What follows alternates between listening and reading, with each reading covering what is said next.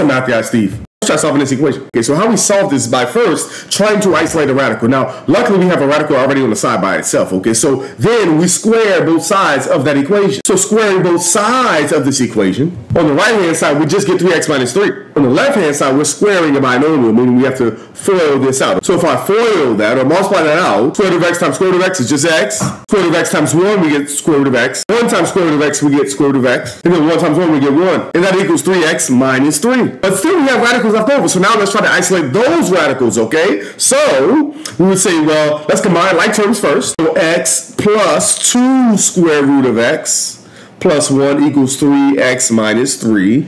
Getting the radical on the side by itself, that would be subtracting 1 and subtracting x. That gives me 2 square roots of x equals 2x minus 4. Now, we still haven't isolated the radical yet, so we have to divide both sides by 2. That gives me square root of x equals x minus 2. And now we have to square both sides again to get rid of that radical, which will give me x equals again. That's x minus 2 squared. And so squaring x minus 2, we get x equals x squared minus 4x plus 4. Now we have a quadratic equation, right? So that would give me 0 equals x squared minus 5x plus 4. So trying to factor that, uh, we get double bubble, okay?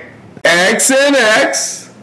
And now we have uh, two numbers that multiply me 4 add to give me negative 5. So that'd be negative 4 and negative 1.